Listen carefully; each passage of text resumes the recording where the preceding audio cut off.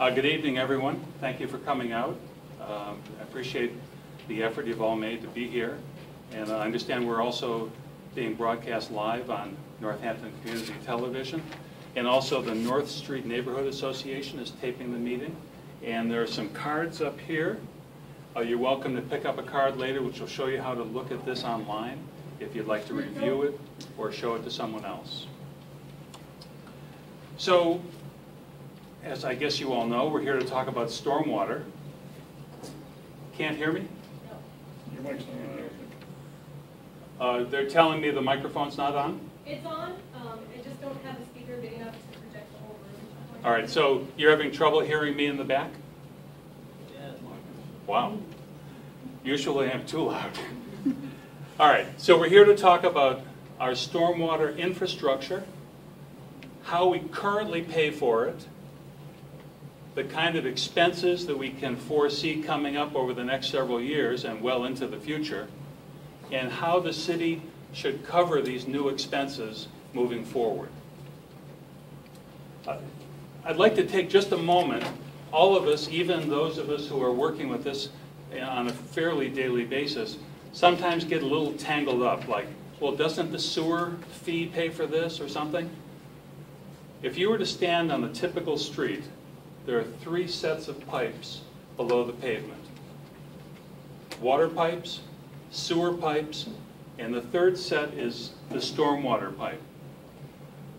Now, all around the city, along the edge of the pavement, next to the curb, you see the catch basins that take runoff from storms and snow melt, and it just disappears into the ground where it's carried away by pipes, and the water is dumped into the nearest brook, stream, pond, river, any low spot that we can move the water to. We collect it on the streets, discharge it in the low points. As you can imagine, there are rules about this sort of thing. And in fact, we are required to have a permit that's issued by the state DEP and the EPA. It's called an MS4 permit. The other part of our stormwater flood control infrastructure is a levee system that wraps around the southeast corner of the city. The dikes down by the bowling alley, it wraps up by Pomeroy Terrace, and there's another set of levees that run along the Mill River down by the Smith College physical plant. All of this infrastructure, I'm told, has a value, a replacement value, that might be in the neighborhood of a quarter of a billion dollars. This is a lot of infrastructure. Traditionally, we've paid for any of the expenses related to this out of the general fund. Our property taxes go into the general fund, the money's used for police, fire, schools, general operating expenses, and our flood control, stormwater infrastructure. As budgets have gotten tighter, we haven't been spending as much money as we probably should have been spending. There has been a lot of deferred maintenance.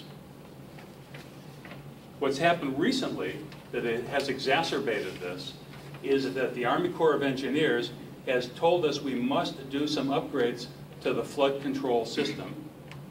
They're not asking us to make it fancy. They're not asking us to expand the system. They're asking us to keep it in good working order. And the EPA permit for stormwater discharge is expected to uh, create a whole host of new expenses for the city.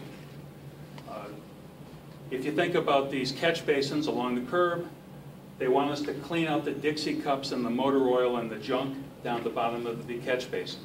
They want us to street the sweeps, to sweep the streets after a winter of sand and salt, so it doesn't just run down the catch basin and into the nearest stream the first time there's a rainstorm. Fairly reasonable requests, but the scale that they want us to do it on is proving to be more expensive than anything we've done in the past. So that's the, the nub of our problem. And the first part of tonight's presentation will be presented by Ned Huntley, the director of the board of the Department of Public Works. He's going to explain these, this infrastructure in more detail, and he's going to explain the requirements that are coming down to us from the Army Corps of Engineers and the Environmental Protection Agency, Department of Environmental Protection. Ned Huntley. Thank you, Jerry. Hopefully I can project myself loud enough so the back row can hear from here also. Yes, that's good? Okay. So to start off, this is a small presentation that we're going to have on the flood control and stormwater utility proposal that we're forwarding to city council in the very near future. Um, Just, you know, this little picture here is the, there it is. Uh, That is West Street or Route 66 at the Smith College Physical Plant. That structure was erected during Hurricane Irene in 2011. It's only a partial erection of it. I think we built about six feet of the 14 feet of the wall to prevent the Mill River from coming into the city. Next. So these are infrastructure challenges that we're going to talk about tonight. Um, We have flood control and stormwater, as Terry Colleen alluded to before. Uh, Under flood control review, um, the two systems were created in 1940 in response to the floods of 1936 and 1938. Um, They're both, uh, one is the Connecticut uh, River levee system and pump station, and the other being the Mill River levee pump station and river diversion. And this is a diagram of both of those systems that Terry talked about and I just talked about. This is the Mill River diversion. This is Paradise Pond up here at Smith College. It comes down through under West Street where you saw that flood control structure. And then it follows a uh, river diversion channel and floods out or comes over a drop structure underneath the South Street Dam, which is by what was Kaylee Motors. And from there, the river diversion continues all the way to the Oxbow. Um, The other part of the system is the uh, Connecticut River System, starting at Pomeroy Terrace. It comes down around, and this is the flood control pump station, which is located at Hockanum Road at the wastewater treatment plant. And then it continues and wraps around and comes down into the meadows down off of uh, Fort and Springfield Road area. This diagram is the area subject to flooding if the flood control system was to fail. And what it shows is an elevation in blue here, elevation 127. The flood control dike system itself is down here, and the top elevation of it is 130. So this is an example of three feet under, if the system failed, how far into the city this would flood downtown area if that was to fail. This is a picture of the flood of 1936, the Pleasant Street here, this is uh, Strong Avenue coming in. And this was the downtown underpass, Fitzwilly's Restaurant is here, and the uh, truck eating bridges, we so call it. And this is, that's, this is one of the things that prompted this to be done by the federal government. Um, In 1938, we had additional floods, they weren't quite as bad, but after that, they started building the flood control structures all along the Connecticut River in Massachusetts. Uh, This is Connecticut River in 2011, we just went through that, that's uh, down the Oxbow area. Uh, That was from uh, Hurricane Irene, that was uh, about elevation 118 the Connecticut River went to. Just in relation, if the Connecticut River gets up to elevation 120, it starts flowing over the uh, road at Route 5 at the bowling alley. So there's only a couple feet difference there between that critical uh, elevation. Uh, We did a little GIS property values, if it was to flood to elevation 127 downtown, and based on the 2012 assessor data, there was about 100, almost 200 uh, billion dollars in property that would be affected, and building values of 54 million dollars that would be affected in a flood not quite to historic measures that we've seen in the past. This is the Hockanum Road Pump Station, this is the backside of it. Connecticut River is down here several thousand feet down. These small gate valves, are not small, large gate valves in the back here, uh, flap open when the pumps go on. And um, this is the flood control building itself where all the pumps are. And like I said, this is located at Hockanum Road and back of the wastewater treatment plant. This is inside the pump station. There are three engines like this that have the capacity of pumping 150,000 gallons a minute total out of the city. Um, What happens, the river- the old Mill River bed, as it used to be, is a source of collection point for a lot of the downtown. It flows into a cavern here, gets sucked up by a pump run by these engines, and is pushed out through the flood control wall into the Connecticut River. So this is a, a a simple diagram of how it works, is that this is the historic Mill River bed coming down. Uh, The Mill River used to flow through the center of Northampton, and it was diverted as part of this project. And what happens when the Connecticut River gets high, it can't gravity flow out the pipe system. So we have to turn on these pumps and pump the stream bed, or the old Mill River bed, through the flood control wall because of the rising height of the Connecticut River. It also works in- reverse of that, is that when we have these deluges of rain, where we see two or three inches of rain in five hours, the Mill River is low, or the Connecticut River is low at this point, but there's so much water backing up in the Mill River bed, we have to turn on the pumps just to push the water through to get the water out of the city.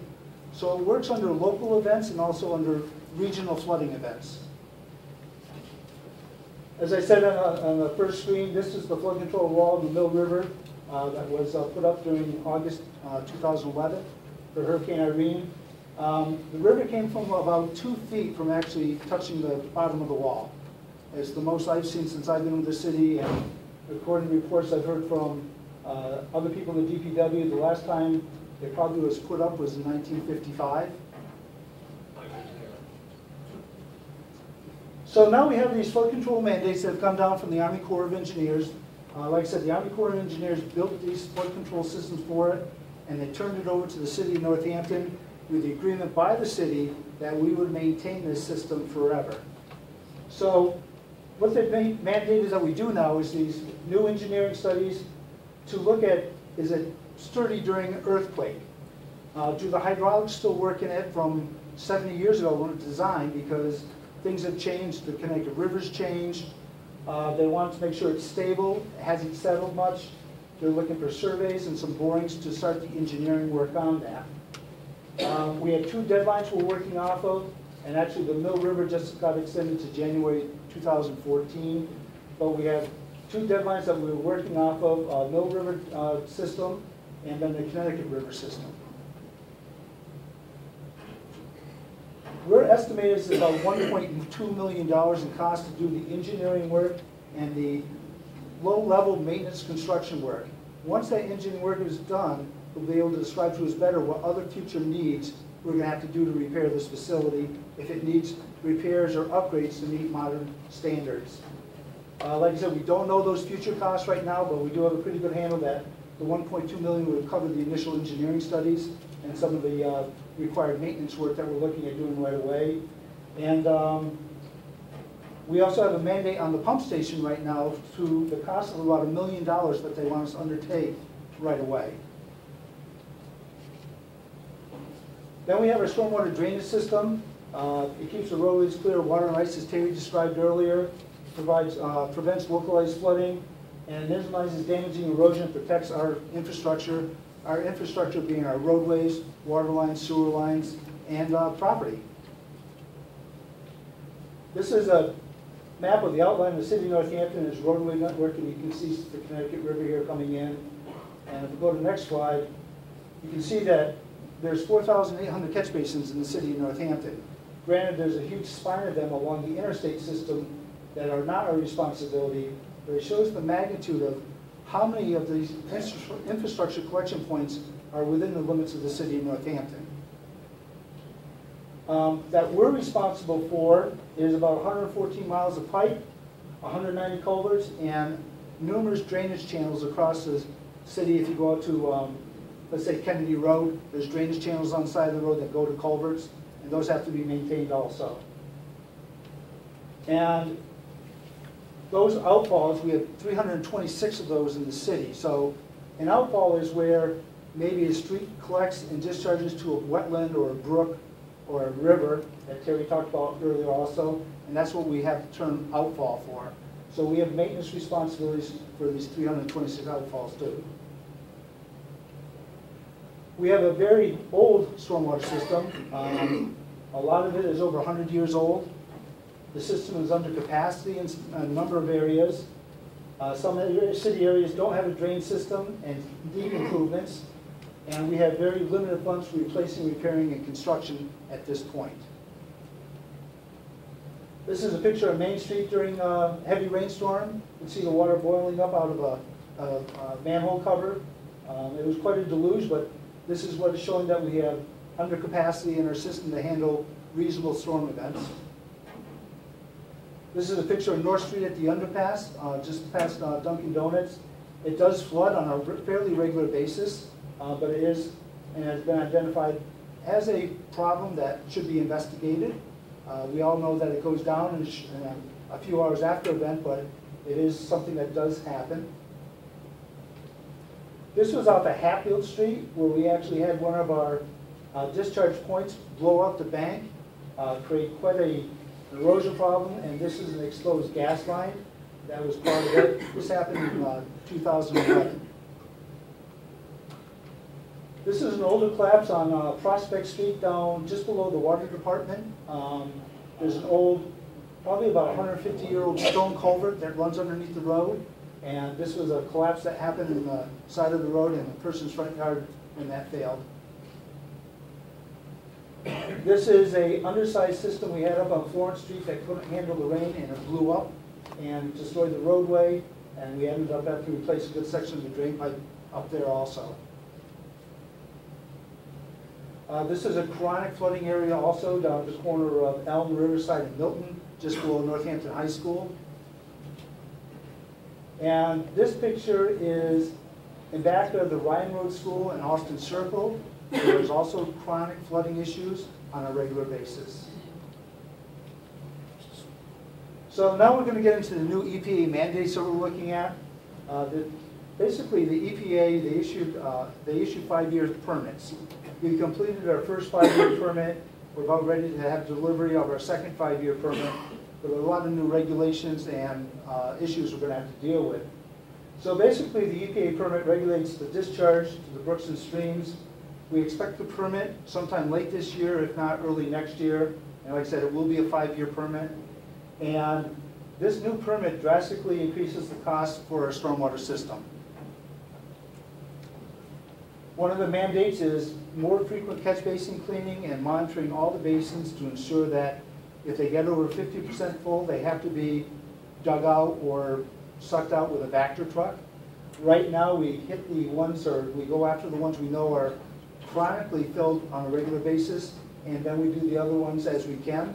Uh, we basically have one person driving around pretty much three quarters of the year doing this on a full-time basis. This is a Vactor truck that we purchased a few years ago to help speed up that process. It's also used in the sewer system for cleaning sewer lines and working with uh, sewer maintenance. So this truck serves a dual purpose. This is a picture of one of our two street sweepers. Underneath the EPA mandate, we're gonna have to do uh, two times a year sweeping. Currently, we do one time a year sweeping, and we do additional sweeping downtown on a regular basis. So there's an increased cost in maintenance and labor and equipment needs for that also. Underneath the mandate, we're also required to do um, sampling of the 326 outfalls to ensure they're not discharging um, bad water. We do find occasional sewer hookups into the drain systems still. We find those, we have to correct that issue, or the property owner has to correct it, it's on their land. But one of the permits is that we have to do this sampling and analytical testing, and then I believe it's a period of 60 days when we find something wrong to correct the issue. Part of the new mandate is green infrastructure. You've probably seen the stormwater quality swale in front of the uh, Daily Hampshire Gazette building on the side of the road. This is also recently incorporated with the North Street reconstruction project. And we actually worked with the Smith College Picker Engineering Program this past uh, year and developed a green infrastructure database and hopefully a plan moving forward where we incorporate green infrastructure on a regular basis on road reconstruction projects. A Couple other things the mandates are is public education programs we have to provide, illicit discharge detection and elimination. That has to do also with the, um, the sampling of the outfalls. Uh, Nitrogen reduction and discharges they're looking at. Uh, This is why the green infrastructure is being put in place to help filter out some of the contaminants in stormwater before it goes into the system to go to the local brook or stream. And uh, we have to complete a municipal floor drain inspection in all public buildings and make improvements as necessary for illicit connections. The last thing I want to talk about was river and brook erosion threats, which are not part of our stormwater system, but they're part of our city property and things that we have to do. I said the first cap is, uh, we're blessed with very beautiful streams and rivers in the area, but we do have stream bank erosion issues that we're trying to deal with. We currently have no funding sources for those at this point, but we're aggressively pursuing grants from FEMA to correct at least two of those as we speak right now. And we have some pictures of those, I believe, after this. This is one of them, the River Road retaining wall. River Road runs from the Leeds Post South over to the Haydenville Town Line, and there's a river or a flood control retaining wall there. And this is a pretty good sized hole that came out of it. And if you drive along River Road, you'll see that the actual wall is undulating as it's falling into the river. We have a uh, a $1.6 million request to the federal government through the Federal Emergency Management Agency to repair this wall. Uh, We've had a city council appropriation through the capital improvements of $400,000, which covers the 25% share that the federal government requires, and the federal government picks up the other 75% of this. So we should be finding out about that project hopefully in the upcoming months. Uh, This is the Federal Street retaining wall, which is down below Ward Avenue and Vernon Street. Um, You can see the large voids that were here. We repaired this, uh, I believe, about five years ago. It is starting to fail again. The the wall is over 100 years old, and it's, um, it's a stone retaining wall, and the back of it is a 30-inch sewer interceptor line that carries most of Florence down into our wastewater treatment plant. So we're concerned about this, this project also in the future. Uh, This is on Roberts Meadow Brook, just below Musante Beach. Uh, This is an erosion, the the river is trying to make its new path. We've also have a FEMA grant in for this, a request, and this is about a $500,000 project. Uh, We believe it's going to be funded in the upcoming month or two from the federal government. Once again, it's a 75-25%, so the city needs to come up with about $140,000 to secure the rest of the money from the federal government. So this is the flood control mandates that we're looking under right now of both stormwater and flood control. Obviously, we talked about the Army Corps before, requiring engineering studies and maintenance repair for the Mill River and Connecticut River systems. And we're estimated to be about $2.2 million over the next three years. We have the EPA stormwater permit mandate that includes increased operation and maintenance costs, estimated about, an increase of about $425,000 a year. And then we have these river and brook erosion repair projects that we're trying to find alternative funding for. And with that, I'll turn this back over to Mr. Colang for the budget. Thank you. Uh,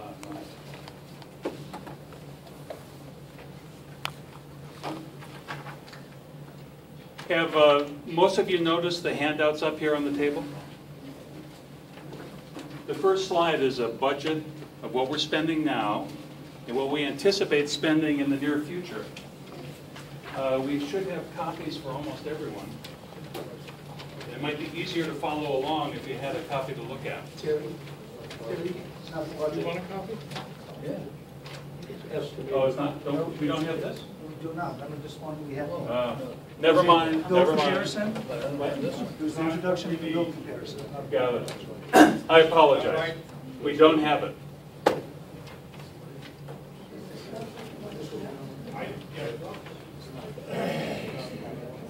Yeah. This will be online tomorrow. This is to tell you what you're gonna get. This will be online tomorrow by about 11 in the morning.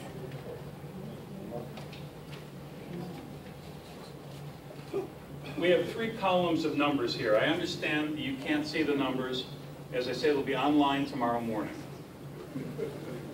The first column details what we're spending this year, what the city is spending this year on stormwater and flood control combined, all wrapped into one package.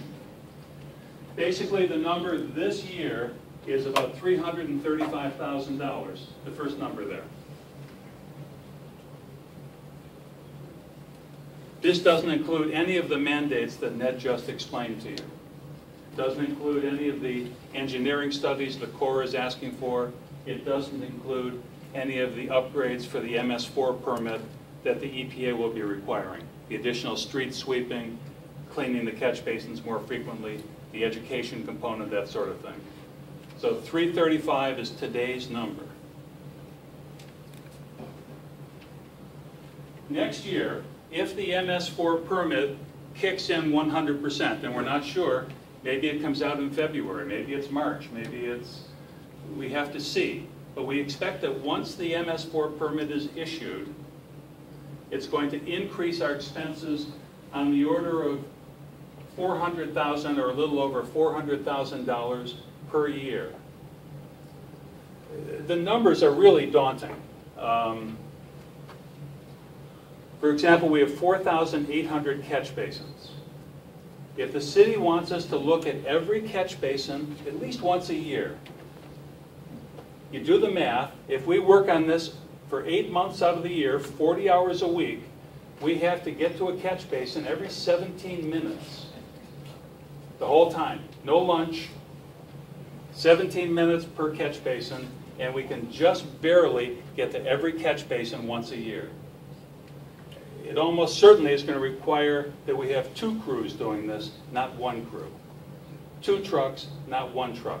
So it's along these lines that we can forecast exactly what would happen if we have to meet these requirements, what the costs would look like. The other piece in here is the work on the flood control system. Again, they're asking for engineering studies, and they're asking for the beginnings of some work on the levees. It's going to be in the neighborhood of seven,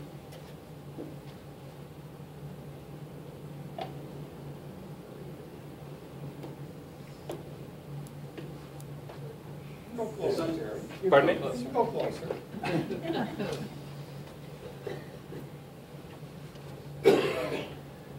going to run along at a rate of about 250,000 at first, and then it will ramp up as we get into these projects.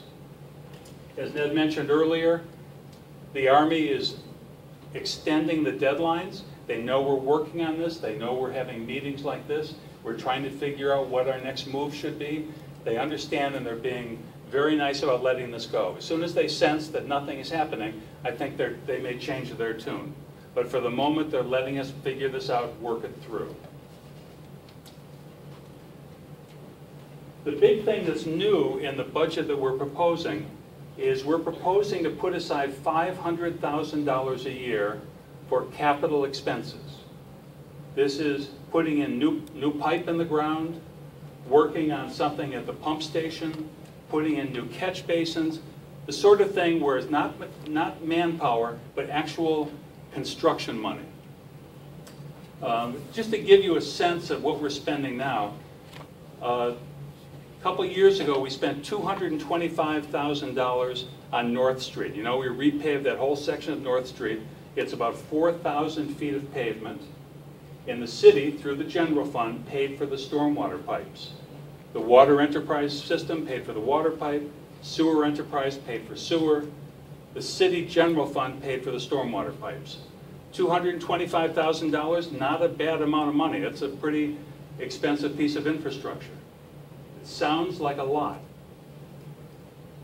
If we keep that pace up and we spend $225,000 every single year putting in 4,000 feet of pipe every single year, it will take over 140 years to get all the way around the city and get back to North Street again. 143 years.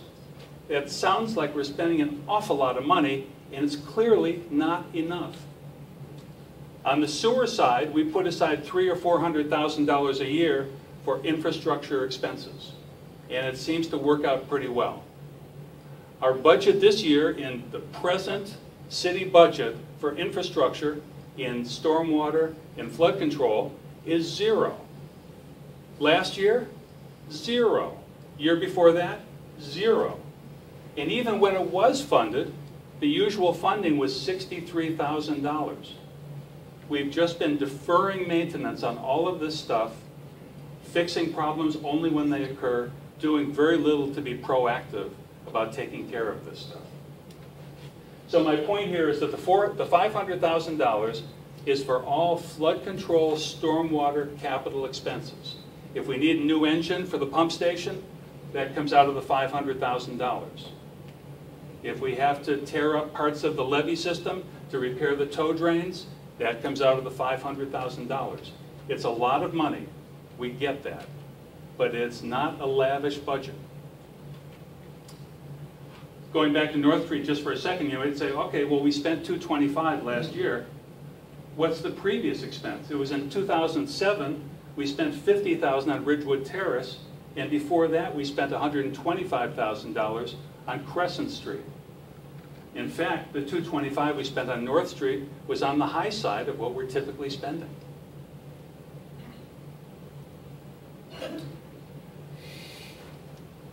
So this is what's driving our problem. If we tackle the expenses that we're going to have to tackle to meet the Army Corps of Engineers requirements and the MS4 EPA requirements, it's going to require spending more money than we are accustomed to spending here in the city. Getting that money out of the general fund is, is hard to imagine. It's just, I, I've said this before in meetings, it's, it's hard to imagine going to the city council and saying, we think we should lay off some teachers and a policeman or two so we can do something on the levee system. Uh, These are just inconceivable conversations. So earlier this year, the city council appointed a task force to look at this problem and explore what this task force believes would be the best way to fund our problem. How should we address it? Should we use the, could, should we continue to use the general fund? Is that going to work? Uh, And I think the task force quickly decided that probably was not going to work. By the way, I meant to say, the task force was comprised of uh, individual members, each appointed by one of the city councilors. The mayor appointed a member, the Board of Public Works appointed a member, and this was a truly a cross-section of people across the city.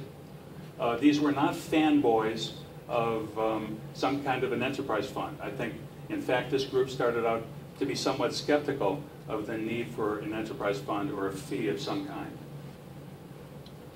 So they looked at the general fund. Does that work?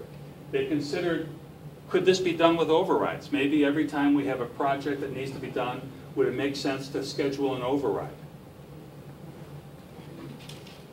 How about a new stormwater fee, some kind of an enterprise system, such as we have for water, sewer, and solid waste?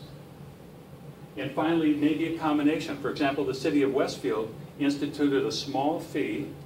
It was politically expedient. It was a tiny fee, not, people didn't get too worked up about it. And it's a combination of that fee and the general fund. Although unfortunately, the city has found that this is not sufficient, and now they're trying to figure out what to do. But that would be an example of a combination of a fee and the general fund. So the task force delivered, deliberated for actually several months. They- They, I have to say, it was very impressive. They met weekly for several months. Uh, They really dug into this in a very impressive way. And they came up with a series of recommendations. It was in fact their recommendation that establishing a fee system would be the most practical way to cover our needs in this, in this area. They felt that every property owner should get a bill. Uh, That was a, a general principle, I think it's safe to say, of what the task force came up with. They thought that the city council should definitely have final say over whatever the budget is for a given year. Uh, They also said, as a corollary to that, that they thought it was important that if a fee is going to be instituted by the city, that it should not, the the fee should not go up, or at least no more than a tiny bit, over the first three or five years. The other thing the city spent a lot of, the uh, task force spent a lot of time working on was the issue of how do you determine the individual bills for each property? If the budget is X amount of money, how do we figure out what the bill is for my house, for your house, for Cooper's Corner, for Stop and Shop, all of the properties around the city? The task force came up with a couple of different models. They were look, I, I think, I'm, I'm summarizing the task force here, and I, I hope if members of the task force uh, care to correct me or modify what I'm saying, that they'll speak up later. But I think it's fair to say that they favored a fee structure that looked at the totality of the property, not just the pavement, but also the unpaved areas in a property. Uh, One of the models they came up with, they called hydraulic acreage. The other one is called equivalent residential units. These are two methods of assessing the stormwater runoff characteristics of a property. The task force agreed that we should standardize the fees for smaller properties. Uh, There are 6,600 residential properties in the city. And on any given block, every single property is almost a cookie cutter size of its neighbor, and frankly, the houses don't vary that much either. It made sense to standardize across the residential properties. The task force had some concern about balancing the impact of the fees. They didn't want to shift the fees to the commercial sector in such a way that it was unfair. They're trying to balance the commercial sector charges with the nonprofit charges, with the residential charges, and keep the overall balance of these charges at what everyone agreed was a fairly reasonable level. I mean, it might seem simple, we'll just shift it all to the commercial sector, but that wouldn't, that wouldn't work. It just, it's not a, would not be something that everyone would feel is a fair approach to this. Finally, they felt there should be a system of credits and incentives so people can, if they're motivated to do something to reduce or eliminate the runoff from their property, they should be, have an incentive, a credit available for that sort of work.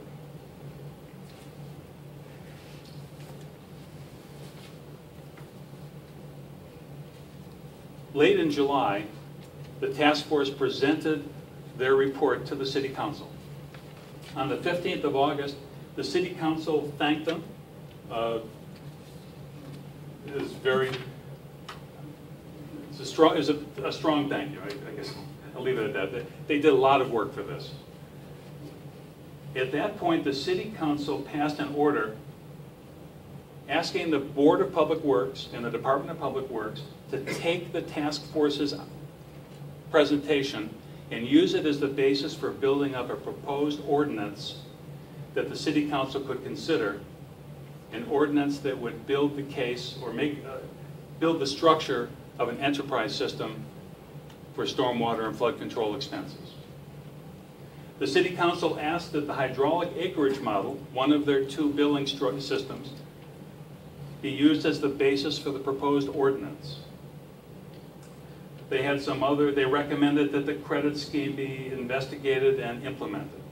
They, um, if there were going to be any caps or minimums, the city council asked that we be prepared to explain our reasoning and what we had in mind and what the impact of these uh, exemptions or minimums or caps might be on the overall uh, system. So the task force now, by mid-August, has stepped aside. Now the Board of Public Works is working. We took the report from the task force and we, we basically made four substantial adjustments, or the four prominent adjustments. We modified the runoff coefficients slightly. We combined two runoff coefficients from the hydraulic acreage model. This is all in the all of this is online. Some of this is probably more detailed than you want. After much discussion, we decided to unify all of the residential properties into one rate. With, a, if you assume a $2 million annual budget, which was a number we were using as a target number, the average residential property in Northampton would have a bill of $123 per year. We also looked at and considered breaking residential properties into tiers, like under half an acre, half an acre up to one acre, one acre up to two acres. It did make, mean that smaller properties got a noticeably lower bill. Under half an acre would be about $85 if we were to break it up into small tiers. Larger residential properties, however, would be up over $300. We, we came up with the unified rate of 121, 123, that we thought that made sense. It's open for discussion. This is something, if the feedback says no, it's important that we have the smaller breakdown in the tiers. It works either way. We are not married to any one aspect of this model. This is, what I'm describing for you represents our best current thinking. The planning office has been talking to us on the behalf of the Conservation and Agricultural Commissions. They're asking for some kind of a special break for uh, properties that have been placed into a permanent conservation restriction or a permanent agricultural preservation restriction.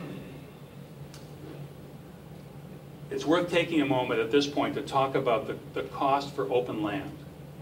The task force was concerned about charging by the square foot. Someone with 30 or 40 acres of farmland would suddenly be looking at a pretty substantial bill, even if the cost per square foot was a fairly low number. So in an effort to, and everyone agrees agricultural land and open space is something we, that's desirable. This is something we want here in the city. We certainly don't want to penalize it. So the task force decided that the charge for open land would stop at one acre. Half an acre would be half of one acre, but two acres, it's still an acre. 10 acres, you pay for an acre. 50 acres, it's an acre. So the maximum charge for open land is the charge for one acre of land. As I say, this was an attempt to make sure that open land wasn't penalized in this system. So that's by way of perspective. Still, the planning office is arguing that properties with permanent conservation restrictions, permanent agricultural preservation restrictions ought to get even more favorable treatment. Does the hundred dollars go down to fifty dollars? Do we just let go of the hundred dollars? It's being debated right now, frankly. It's not quite pinned down exactly where that's going to go, what our recommendation would be. If you circle back to the task force, they felt that every property should get a bill. So maybe it turns out to be fifty dollars.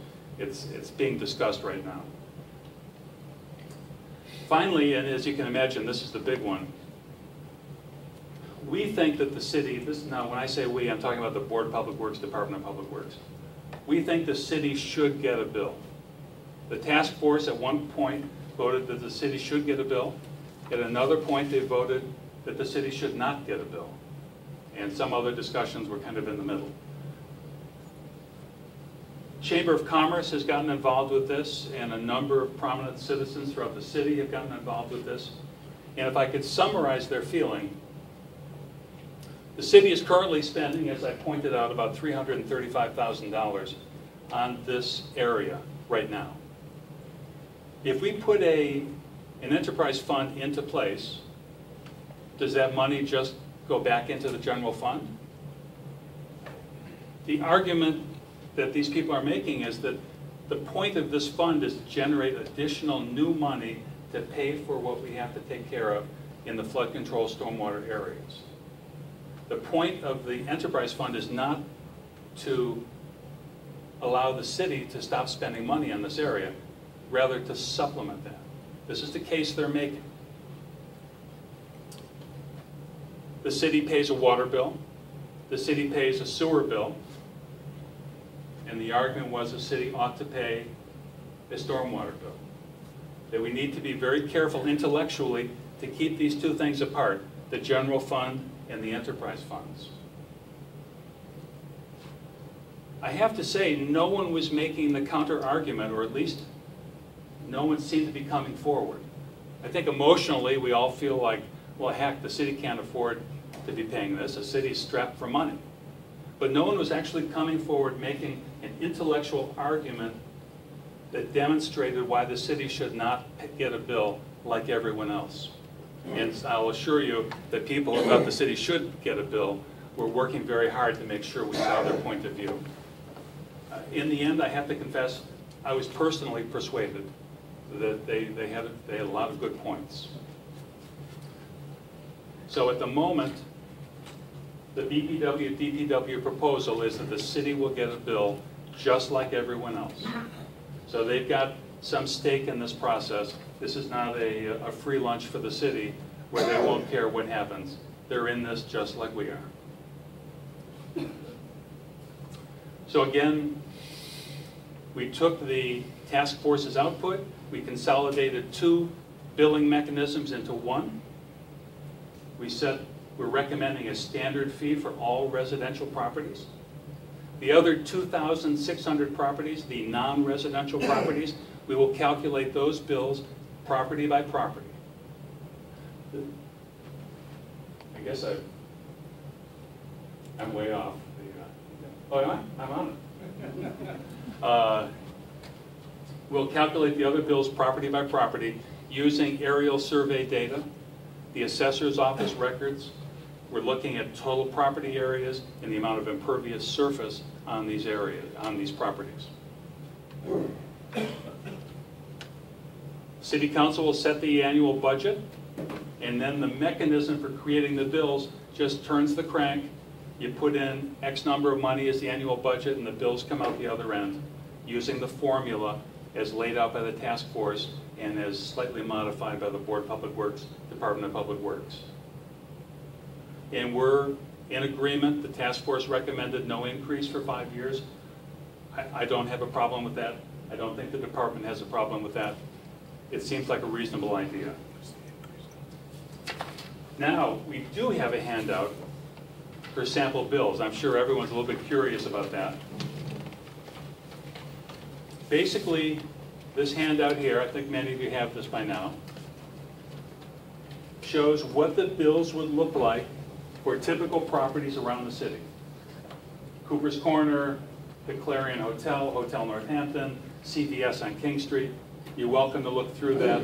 It's a fairly good example of what this would look like for the average property or a residential property owner. Smaller residential properties would wind up paying about 41% of the total charges. Larger residential properties, condos, rooming houses, four-family and larger houses, would pay about 9%. The total bill for commercial properties, up and down King Street and all over town, about 23% of the total.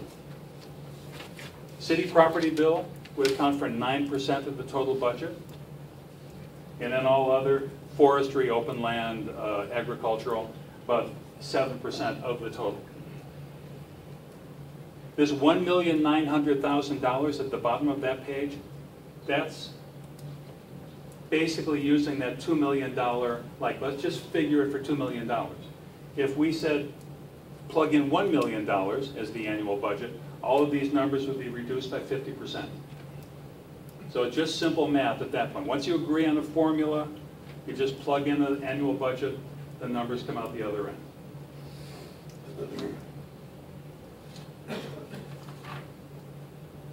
That's it.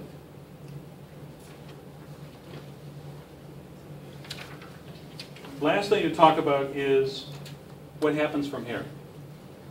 The Board of Public Works is working toward finalizing our recommendation. What you're hearing today is a snapshot of where we are now. We want to get the word out, make sure people know about this, and we want to hear your comments about it. Your questions, your comments. We, we need the feedback. We want to get everyone engaged in this conversation.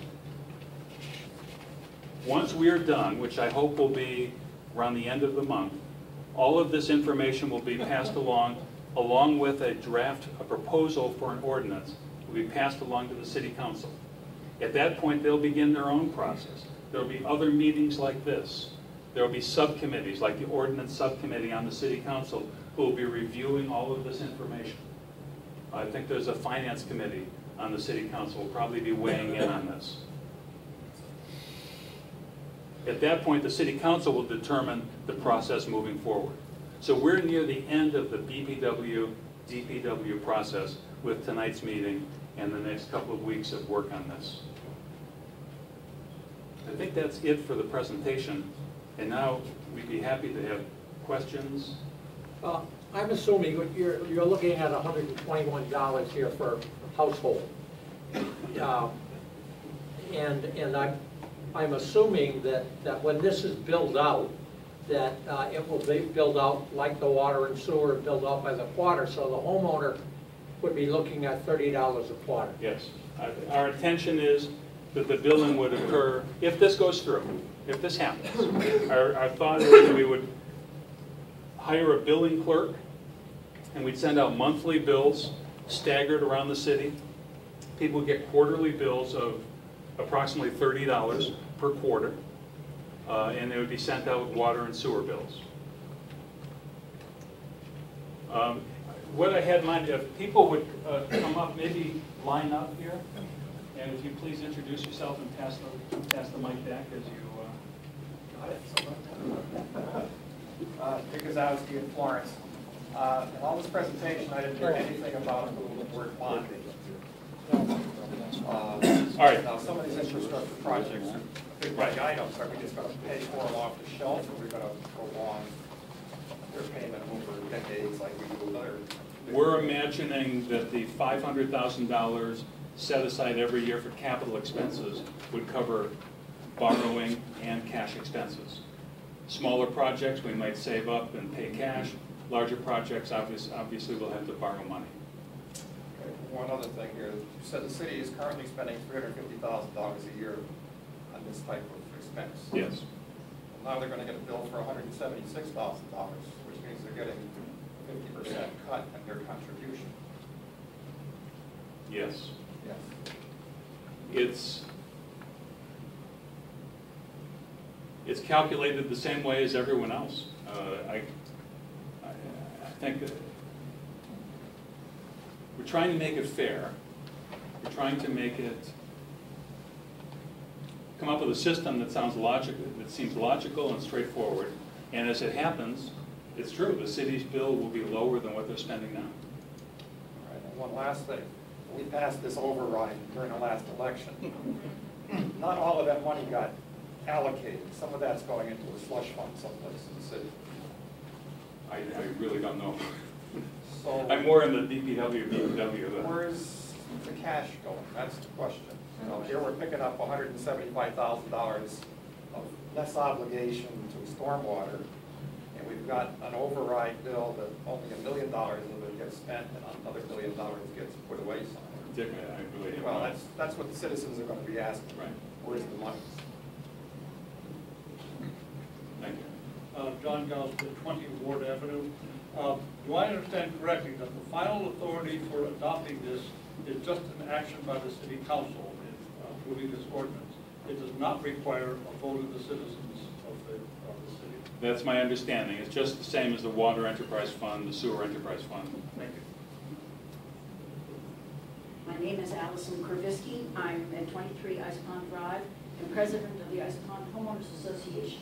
And I would like to bring a subject up that I notice on your list. I know it's just a sample, but I'd like you to consider the homeowners associations who are required by the city to maintain stormwater facilities. Our neighborhood is 24 families. Six of the households are uh, houses that are part of the affordable dwelling unit program of the city. And so twenty percent of our residents are living in affordable dwelling units. Our annual dues go, we spend nearly two thousand four hundred dollars a year to maintain stormwater facilities. And I think when you're talking about credits, you need to look at the category of the homeowners associations in the city that have that kind of responsibility. Because if you add hundred and twenty-three dollars on top of our annual dues, our community, our twenty-four families are spending a great deal towards stormwater management. We have three contractors that I need to manage, and this is a large responsibility. We also, it's another idiosyncrasy of the Ice Pond neighborhood, which is a part of the redevelopment of the state hospital land. We have individual property owners who, when they bought their property, were required as part of their purchase to buy conservation land. I own a piece of woods that has a conservation deed, a conservation restriction on it. It's an outlot that I was required to buy when I bought my property. So I just want to point out this nuance, when you're calculating land area, you need to look carefully, particularly on Ice Pond Drive. For those of us, I think there's six households who own conservation land. Because we don't want to be billed for conservation land. Just some thoughts. And I a handout, I'd like gentleman up here. If I could just say a moment, uh, something quickly about credits and incentives. An ordinance would, re- would make mention of this. The ordinance will not be so specific, it will say rain barrels will be 50 cents or whatever, you know, the particular incentive may be. Um, I view the incentive and credit issue as an ongoing issue. Years from now, we'll be, we'll still be finding new things that work really well. Maybe we've realized that something we've been doing for a while doesn't, is not doing what we had, had hoped it will do. It will be a moving uh, target over the years, just as water and sewer, we, we couldn't always have foreseen what had to happen. We, it's something we can work out as we go. There will be credits, and I think your idea for the homeowners association is a good one. Terry, can I say a couple words? Yes. Um, Well, well, actually, which, maybe, Well, just on this particular okay, subject. all right. Um, Chris Hellman, it was on the Board of Public Works. I'm on the Board of Public Works, I'm also, uh, served on the Stormwater Commission, and I spend a lot of time thinking of the credits and incentives question. This is a new one that we hadn't really covered before, um, but I think Terry is right to point out that this is a situation where it's something that's gonna be evolutionary in its scope, we're gonna be looking at it. Um, I'd love to get a copy of that handout, because I think it's something we need to, we need to consider. Uh, Gentleman sitting next to me was also asking about um, pre-existing stormwater mitigation conditions, another thing that we want to be looking at. So um, this is an area where we put a lot of thought into it, but it's also quite, quite a bit in flux, and we, we love to continue to get your feedback on it. Thank you, Chris. Uh, my is Robert Nagel, I live at Three Medicine Avenue in Northampton here. Uh, the annual flat, wait, uh, flat fee of one twenty-three, what is a standard property then? The intention is that if, if if it's a residential property, that's the fee. Any residential property? One to three family. One to three. family. Where are the, uh, six thousand six hundred properties that have been deemed as standard located? throughout the city. No specific, no specific area? There are residential properties on virtually every street in the city. Okay. So, but Thank you. I'm not trying to be complicated. No, I, I understand. I think this tax is wrong. I, I will continue to drive, I think it will continue to drive the middle class out of our city. What is fair and equitable about the, this taxing of the sides of our roofs and driveway? What is fair and equitable about that?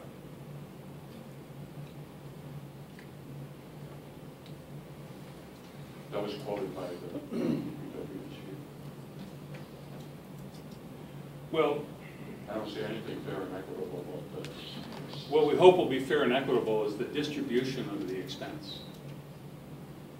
We,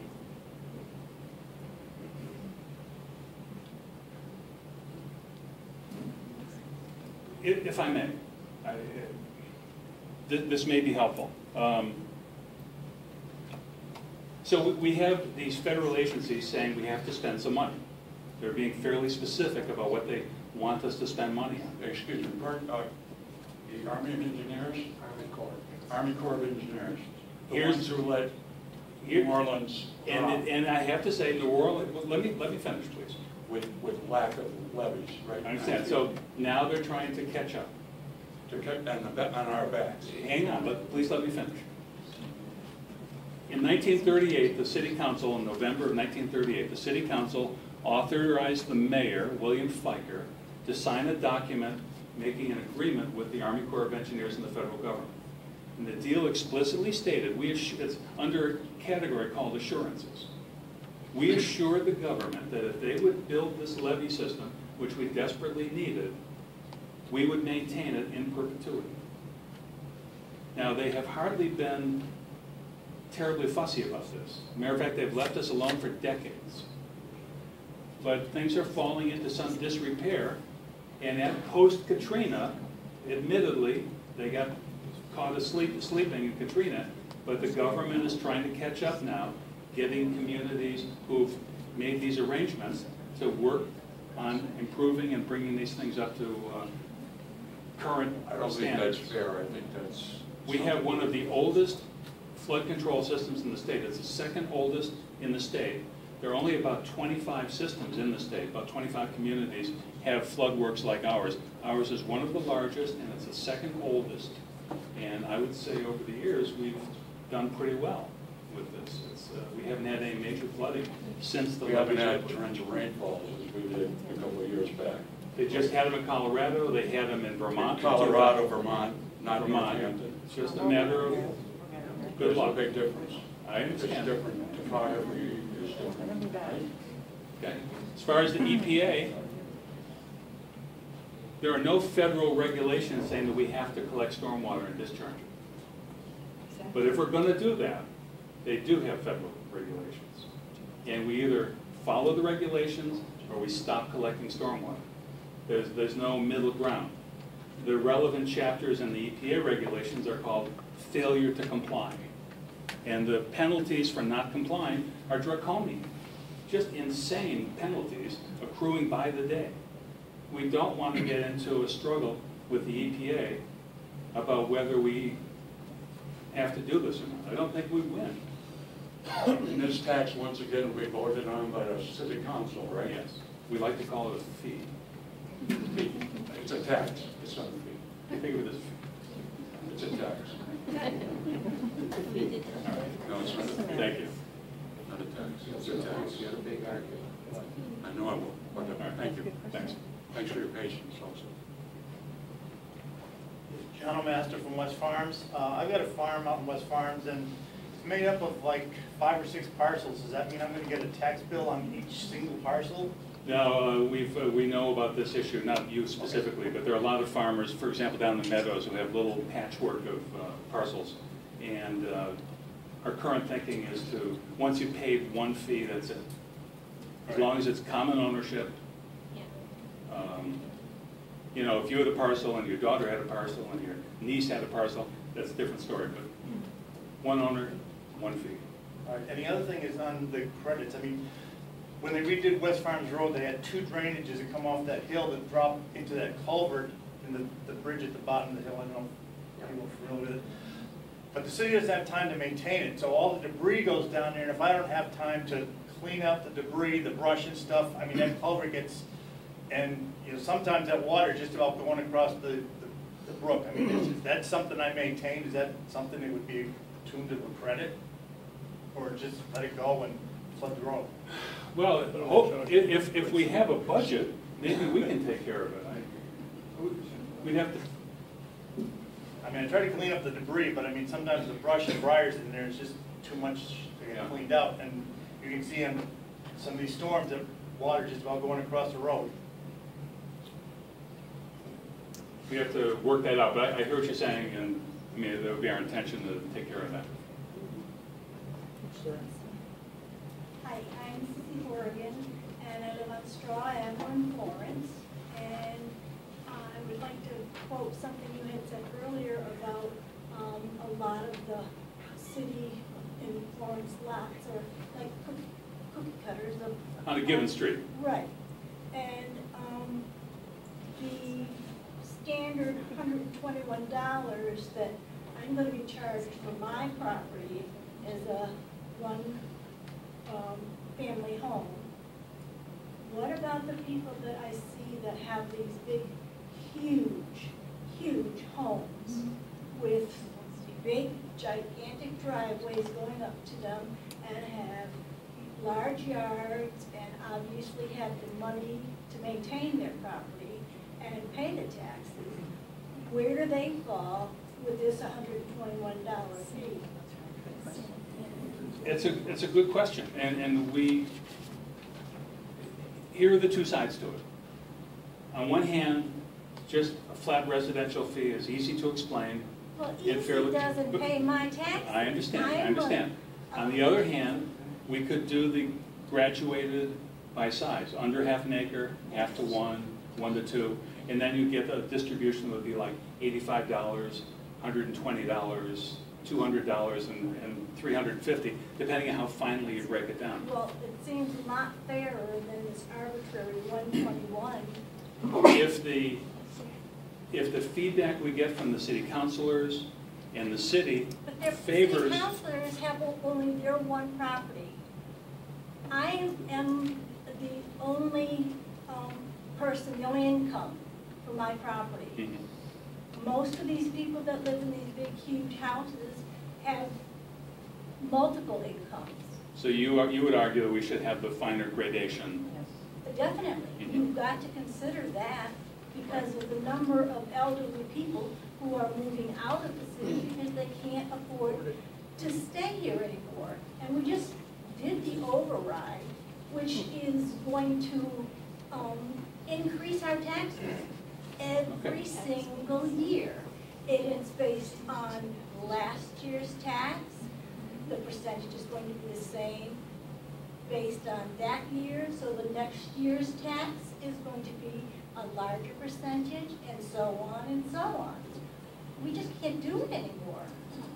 And how many more of these fees are going to be put on us because the city can't afford it? Mm-hmm. And like that gentleman said, well, the city is now getting their fees cut in half based on your, um, ratios. Right. Because we gave them the money from the override. Why should they now have a sale price where we're having to charge, be charged more? All right, I, I hear what you're saying. And, and the, so you make a good argument as to why we should have finer gradations on the residential. We're still, And I don't think it's, it's still open for, it's still up for debate. It- It's, it's still op- open for discussion. This is, the bit, the cake is not baked. Danielle Powers, I'm on Stoddard Street, Northampton, and I completely agree with her. I'm single income, and uh, I paid, I got slapped with the override that I didn't vote for, and I'm, don't, I have a very small property, and why am I paying for something that my neighbors have a larger property for, mm-hmm. and I can't afford it, I just can't afford it, and I'm born and raised in this, this city, and so are my parents that are no longer with me, and why am I paying for something that I can't afford? And I see larger properties all along down my street, and I have a, a single, single driveway, and I have a smaller house, and everybody else can fit six vehicles in their driveway, and I can't. And I'm, I, I want, I agree with the tier system, Mhm. and I just can't afford anything anymore. Okay. I appreciate that, thank you. Terry, how about the means-based uh, discount for people who income doesn't allow it? I think I skipped over that in the slide. Maybe I could see. There, there will be a, um, a means-based discount. Uh, the city has other agencies, other departments that have, offer programs like this. We're planning to follow the same procedures for people who, uh, have demonstrated low income needs, uh, with a discount or an exemption. We haven't, again, it's being discussed. Uh, Mike Kirby, one thirty-four North Street. Um, I'm a little concerned that the two million dollars is seen to, that this will fund every year. Um, That about, I think, a million of it, about half of it will go into these catch basin clearing and, and engineering studies. And, and the other million will go into projects. Is that about right? Yes. But if you look at the CDM report that, uh, that started this whole project, you can see that the, all by itself, the pumping station, which is long past its service life with engines, you know, the nineteen thirty-eight engines, um, that we're gonna have to replace that. And the bill, CDM would love to spend our money, and, and according to this, it, it budgets fifteen million dollars in two thousand sixteen. So, the, the, the tariff is being put forward that it's not gonna change in five years, for five years. But how can you guarantee that, that it's not gonna change for five years if the engineers get into that pumping station and discover that we need to essentially build a new pumping station? Well, we can borrow money, and I think it's fair to say we're, we're comfortable, we have no budget now. So frankly, the department's pretty excited about having a little bit of money, that we can start tackling some of these projects. Uh, Anything that we do at the pumping station would be years of planning, engineering studies. Uh, I don't think anything's gonna happen overnight there. And it's still our hope, we're, we're, we haven't even been able to pay for the studies yet, but we're hoping that they'll, we'll be able to replace the engines without tearing the building down. Now, we thought we could also replace the old trolley barn that the Department of Public Works uses for all of their vehicle maintenance. When the city's building inspector went in, he said, no, if you really do a lot of work in there, you have to meet, for example, modern seismic standards. Well, we don't think that brick building, built 75 years ago, would meet modern seismic standards. You mean the, the pumping station? The pump station, we, we don't think we could put air handlers up on the roof to, you know, get these huge engines indoors. We don't think we could put things on the roof to, to exchange the air within that building in a manner that would meet current OSHA requirements. So it's a mess, and we're hoping we can So there still baby may be an override in the future if they have major, Yeah, major I- an override has been discussed as one way to deal with a catastrophic unforeseen. I love catastrophes. I'm Deb Jacobs. That's why we don't have a lot of time left. 82 Grove Ave in Leeds. And um, I used to think that they'd get me out of my house with a crowbar. And with the cost of things, it it makes it harder for me also to think about staying in the city. So I would like to see some way of getting some kind of credits. Um, I agree with the woman that if you've only got a, a- a driveway big enough for one car, um, the way the runoff is, is quite different than, than somebody who can park six cars. So I would like to see that, and, and, and along those lines, I'd also like to see the city, um, to take a, a proactive, um, approach to, um, stormwater. And for example, when you talk about redoing Pulaski Park or a new building for, um, the DPW, which uh, is obviously needed, that you would take these things into consideration, and that the city should become a leader in terms of, um, uh, rain gardens Yeah. and cisterns and, and these kinds of things. We would like to. That zero budget is slowing down what we can accomplish. Uh, Fred Zimnock, Ward Three, and uh, I was a little bit surprised about this presentation. Uh, It seems to me that the uh, Camp Dresser McKee report has disappeared, or is that still on effect? It's- It's disappearing. I mean, the- underlying uh, numbers in there still make sense. For example, that the flooded area below the bridge across from Dunkin' Donuts, that whole system along uh, Market Street is undersized. They think it's gonna cost twenty million dollars if we want to address that issue. Well, That number's accurate. okay, as far as so we if I know. looked at the, if I remember the Camp Dresser McKee report correctly, the uh, twenty-year budget was ninety-two million. If we So- do all of those things, Right, okay, but I mean, if you, if you say it, we're not gonna do the Camp Dresser McKee? I don't, I don't see being able to tackle four $20 million projects in the near future. I- I suspect we'll have to live with that, that lake below the bridge. Uh, We've got much more pressing issues than that. Okay, uh, so Camp Dresser is disappearing. Uh, The next question I have is, uh, my property is a commercial property, it's got four apartments. And I looked at some of the models that were in the uh, task force. And one of the parameters for the model is impervious area.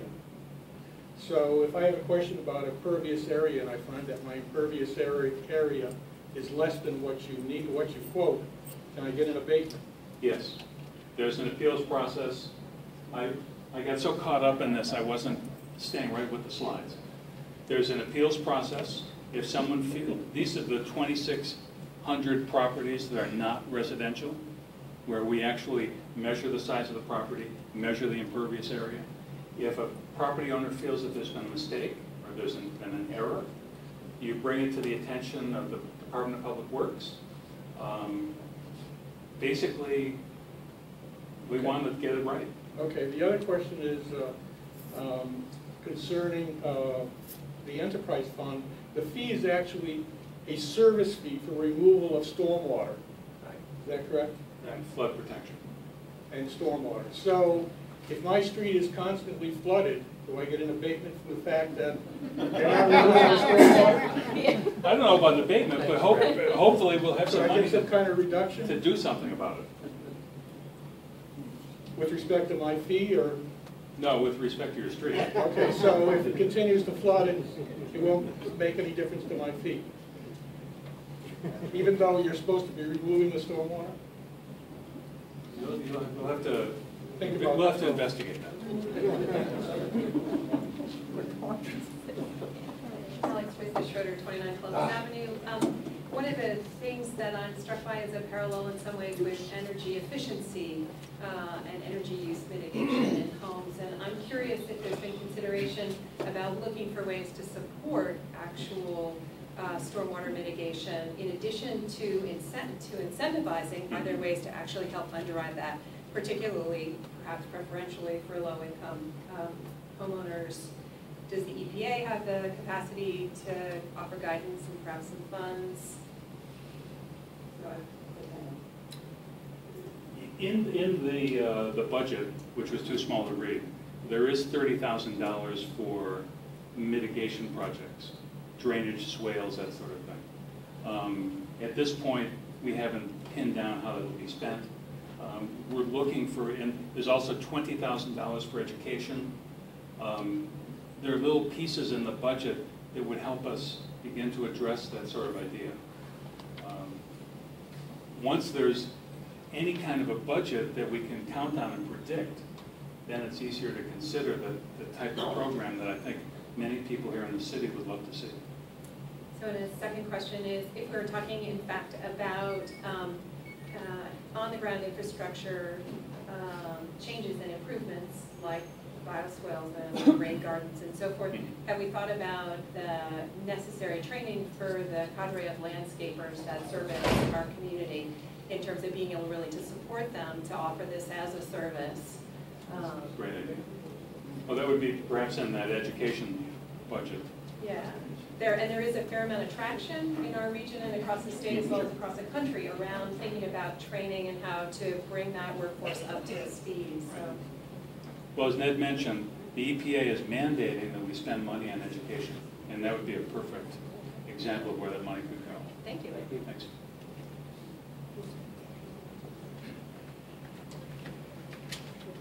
I'm Henry Ford. Uh, I live on Spring Street in Florence.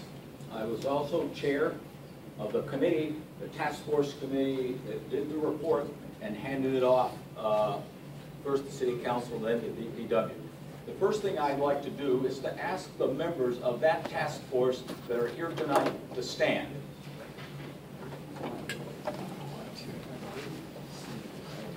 We have 11 people on the task force. They met weekly for three months and spent some considerable time thinking about this problem. So I am responding tonight on behalf of the committee. And as we did at our meetings, if I get it wrong, I've asked the members to stand up and correct me or anyone else that's appropriate. And I think the committee members will verify that's the way we ran our task force. So with that said, first, I would like to specifically challenge the idea of changing the red runoff coefficient I would like to see the data, the technical data that supports that change. We, the task force, had documented data to make that recommendation. And I think if you change that, it's incumbent that you produce the technical data to justify that change. It cannot be, it should not be done on the basis of opinion. It needs to be informed engineering opinion.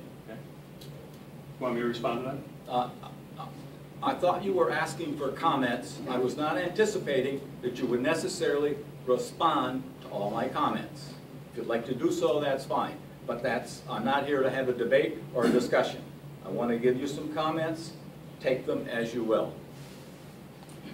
Second, I think the committee really felt that you should be as quantitative as possible in the formula, making sure that you were as detailed as possible and not lump things together. We also believed as a committee that all property produces runoff. All property, agriculture, whatever. After you have a substantial rainstorm, ground is saturated, if it continues to rain, you will get runoff from all the property throughout the city. That is a physical fact, and it cannot be denied. Secondly, or thirdly, we would suggest that you get the most up-to-date GPS data possible before you set the formula. Uh, there's some question about whether we have that data, but in this day and age, it's certainly possible to get. You said no one would stand up for the idea that the city shouldn't pay a bill. I am standing up and suggesting they should not pay a bill. Let me share the logic. If we ask the city to pay the bill, where will they get the money? General The money comes from the general fund. Now, where does the money come to put in the general fund? The taxpayers do that. It seems to me this is simply circular reasoning. And I don't see a way around that. Finally, you passed out a table representing uh, what the average house might pay or some other institution. If that table does not include exemptions, then it is not a fair representation of what will happen in the end. And I believe that the table that you present to the public should take account of any exemptions. If you don't, taxpayers will have a substantial surprise when the exemptions kick in and they get the bill. And finally, anyone here who was on the task force, I invite you to stand up and make whatever comments you care to make or correct any mistakes that I've made. Thank you.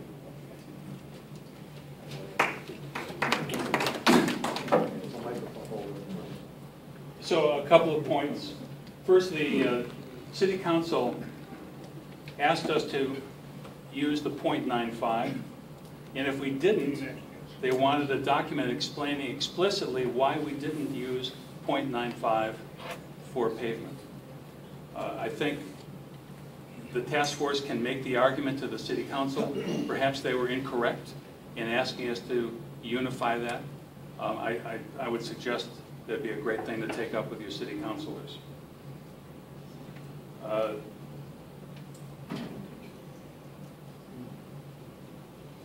I've lost my other thought, but thank you. I'm Ken Lenz from 71 Reservoir Road in Leeds. I'm the owner and property owner of the first two houses from Roberts Meadow, New Sandy Beach. Could you please put up that uh, erosion picture that you have up there of Roberts Meadow?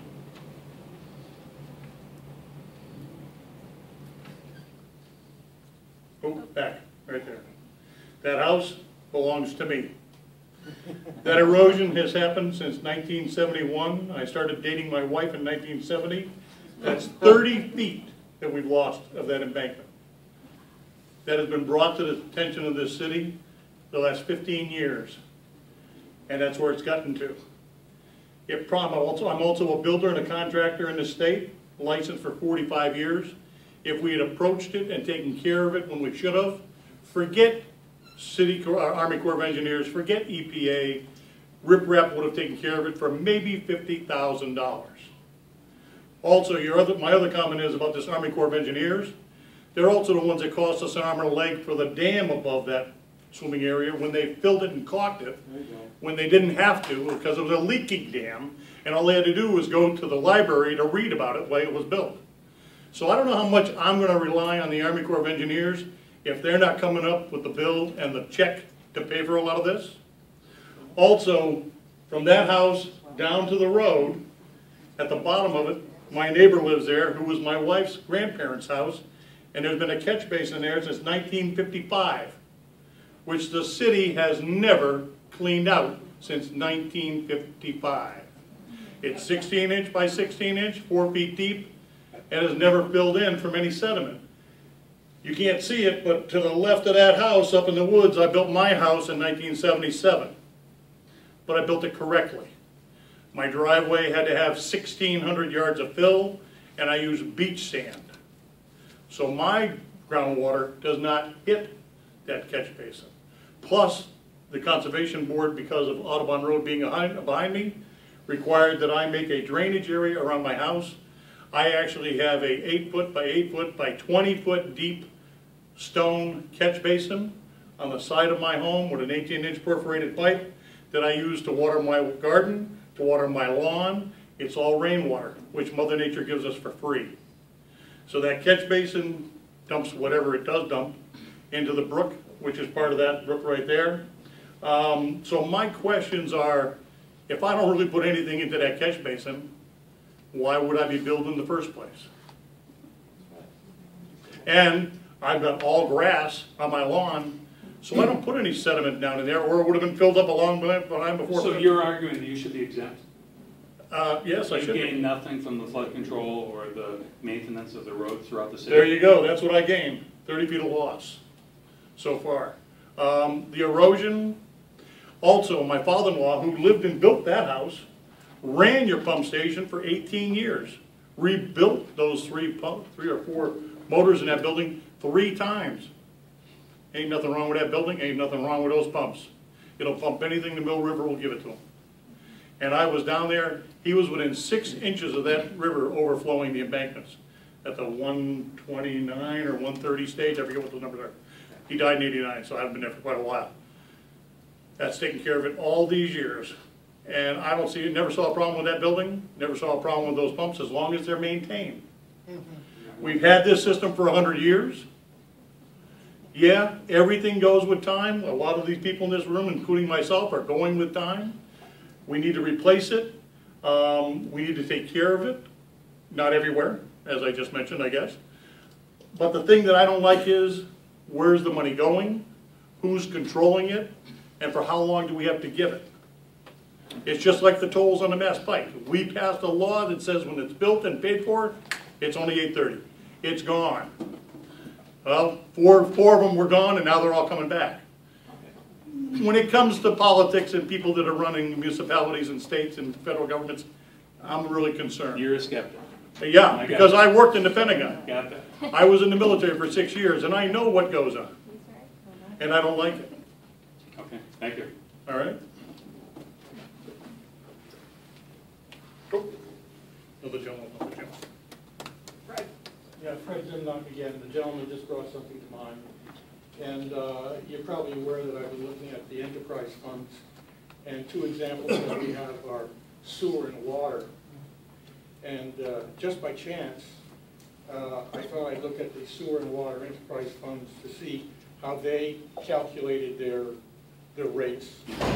And it all began when I went to the assessor's office to pay my tax bill, and I looked up at I looked up at the wall, and all the water and sewer rates were there. So I thought if I had those, I could go back and calculate the rates for the water and sewer.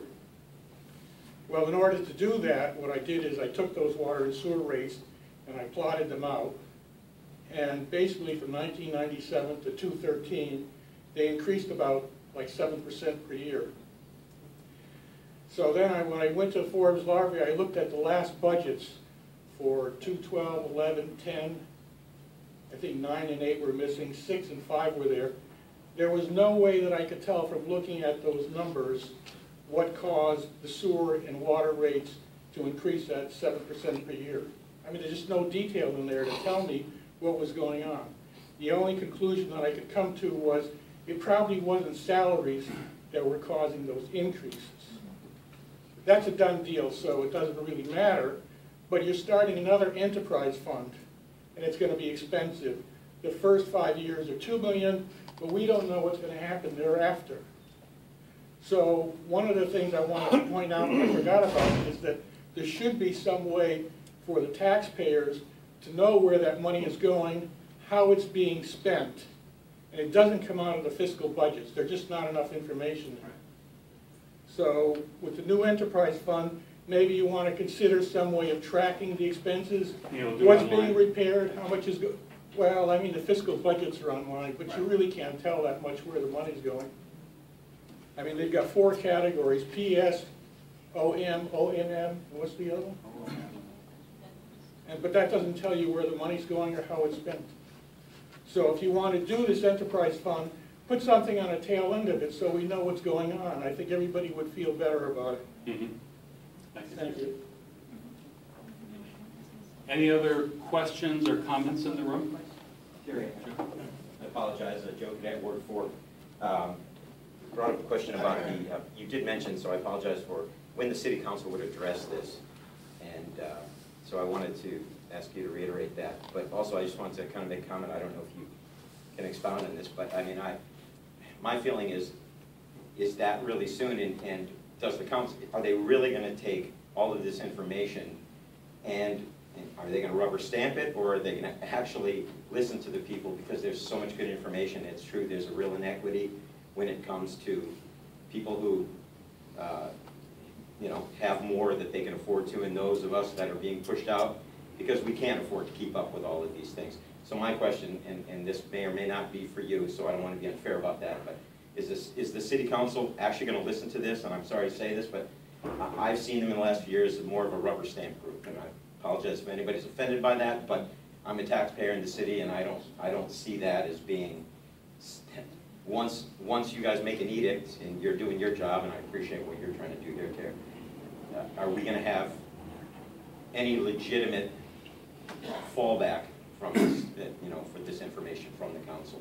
I think, I think the process moving forward, Councilor Casey, I think, would like to speak to that, but That's fine. it should be fairly robust, I would guess. And when is the, when is the time limit?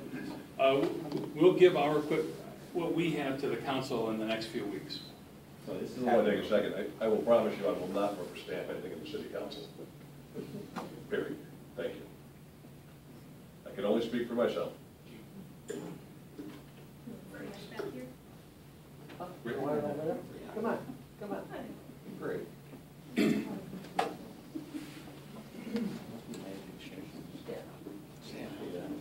Hi, I'm Rick Clark, uh, in Ward Three, I was on the task force um, as well, and I want to address a couple of things and ask a question, uh, I guess for Ned. And I'm not sure of the budget, when we set up the enterprise fund, would it be um, the the current um, personnel and equipment and resources that are dedicated uh, to stormwater now, would they be separated from DPW and assigned to this, uh, this enterprise fund? And then we buy new trucks, and and would it be a, a a dedicated stormwater team? Or would there be overlap within the DPW? Um, Currently, the sewer and drain division work together underneath the highway super, the highway department. So with that, there'd be no change in the personnel that I'm aware of or I'm thinking of. What happens currently now in the sewer drain division is that the salaries, the O and M budgets are separate between the enterprise fund and the general fund. But the salaries for the people that work in that division are split two-thirds on the sewer system, one-third on the storm system. So this would provide the funding for that one-third of those labor so- uh, resources. And then on top of that, it would allow us to hire what we believe is going to require two additional staff members for additional workload from the EPA. The catch basins? That's correct. right. kind of- But we're not looking to create a separate stormwater division. Currently, the equipment is shared between th- those two groups, like the back truck we use in water and, and uh, stormwater. The, the clamshell bucket truck is really dedicated to cleaning catch basins, but it could clean out sewer manholes if there was a clog or debris in there also. So we're not envisioning huge changes in setting up a new division with a new foreman. I think it's already in place. It's a matter of making sure we have enough heavy equipment motor operators to operate the equipment that the EPA is telling us that we need to do this work with. So you would see uh, a minimum two more hires? We see in that budget a nominal of two DPW workers, a stormwater person to oversee the whole program, and a building clerk is currently what's proposed as new personnel. Um, The other thing I wanted to address was what Emery was talking about in the coefficients. Uh, And I just want to make clear that the task force were not experts in this area. Um, The coefficients were beyond the scope of our expertise, and I think it's entirely proper that you examine those coefficients. Uh, In fact, I'm concerned that the city council passed on this report to you without itself examining both methods that were recommended. And now you're facing um, a, uh, a method that is, um, you know, raising the concerns that you're hearing tonight. There's, there's concerns with the other method as well, but I think that you, you knew and you probably anticipated some of these concerns with choosing this method. And I understand you didn't really have a choice if the city council instructed you to choose that method of the two recommended. So I just want to make that clear, you know, from the outset, that there are other methods for arriving at what you're trying to do. Right. I, I, I think if, I- if I may, Rick, uh, the, the two methods for calculating the bill presented by the task force wind up in fairly similar places. The billing between calculated one way or the other winds up looking quite similar. I think, I think most of the task force would probably agree with that. And in both cases, they were looking at impervious surface plus another charge for properties that don't have a lot of impervious surface. Uh, So it's our opinion that the two methods really shared a lot in common. And and I, I don't think, I- I think it's not unreasonable to pick one or the other. I think either one would work fine. Mm-hmm. One more question, my Yes, last one. I'm assuming that none of this money in the new stormwater enterprise fund is going toward building the garage? Correct. That's good. Okay. It's, it's one of the um, advantages of an enterprise fund, that segregates the money. They're legally required to do it. Any legally required to do It hasn't anything, simple yet. as one. When- when is the vote yet? Well, what gonna have? Did you get the money where it was supposed to go? No, they gave it to the E EMPs. If I could just make one more thing clear about the two methods. I know, I'm just letting you know. you're- uh, that one method is a, is a fairly uncommon method of doing this, um, this type of calculation. It's generally used in broad open spaces. The western states use this method more, and uh, Florida tends to because of its uh, low, the, the water level down there.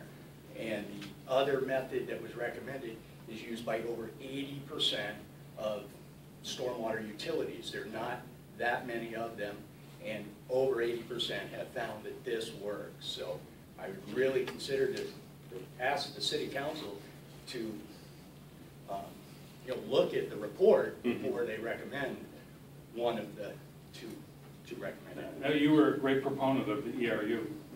Yep.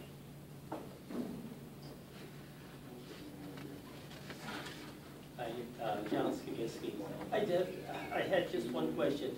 Home offices, how is that gonna be handled? Is that gonna be considered residential, say a single-family house uh, that has a home office? That's, I would think so. Again, you, that's an interesting question, but I would imagine that's residential. I would assume that Yeah. that would come under that category as, as a residence, not a commercial operation. I would, I would agree with that. Just one here, uh, properties in the floodplain on the other side of the flood control, Mhm. are they going to be assessed the same as those on the high side? Yes. So the airport and people down on River Drive. It's One hundred dollars a year with credits available if it's agricultural land or conservation land.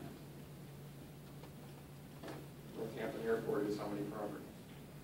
Is what? Northampton Airport is one property or is some? It's one property. It's one property. If I may, uh, I'm Jim Dussel, and I was on the task force. Um, Particular properties um, are subject to a good long look.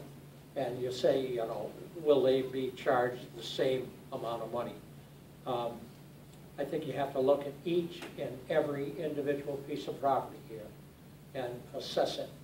Um, There's a little, little talk about the six thousand uh, pieces of property being the same. I don't know how much you're gonna change that. I really don't. Uh, It, it looks like something that uh, will work, and uh, I, I really think it will. Thank you. Jim? Uh, You want to come up and use the microphone, please? I just wanted to ask Jim, The people at home can't hear what you're saying. sorry about that. Jim, uh, with those taken from the air, right? Satellite photos, that's what they use, right? I don't know. Yeah, that's what they use. You didn't go out to each and every property, Correct. you satellite photos. Okay. Or aerial, aerial photos. Satellite photos, That's what they're called. Thank you. Nowadays. I'm going to take a shot, Jim. Go ahead, take a shot. Good evening, I'm Chris Hellman. Um, I'm a member of uh, Ward 2. I'm also a member of the Board of Public Works, and I served on the task force. Um, So uh, we did a lot of thinking about this. I want to associate myself with some, but not all, of what Emery said. Uh, And I think that that's an important point to make.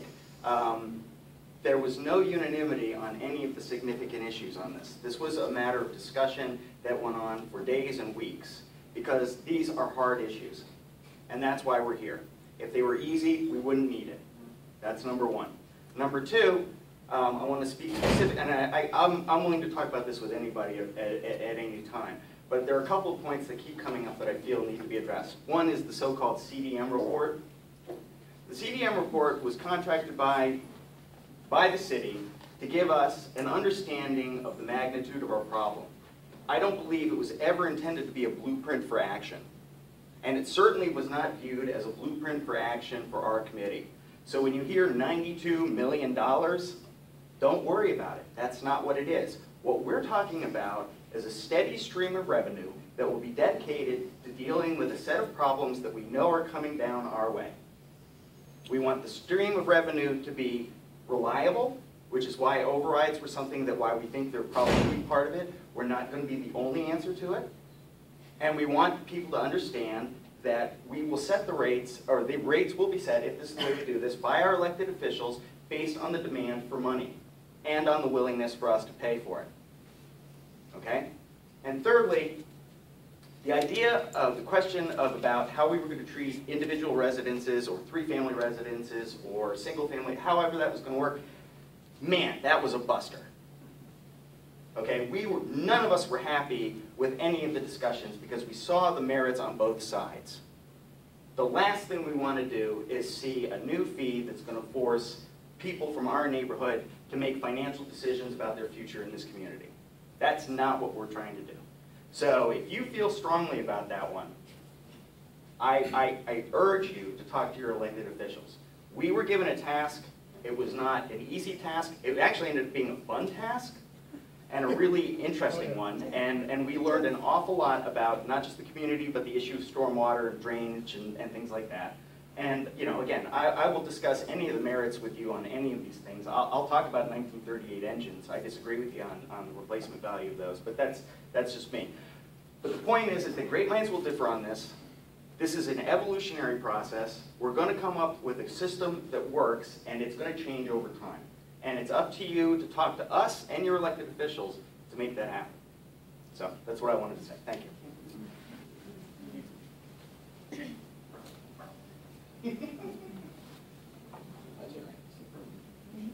I can address. Uh, Hi, hi. Uh, David Keys. I am uh, from Ward 6. I served on the task force. I live in Florence. I own Northampton Plumbing Supply. I have a lot of impervious area, a lot of property, a lot of rainwater.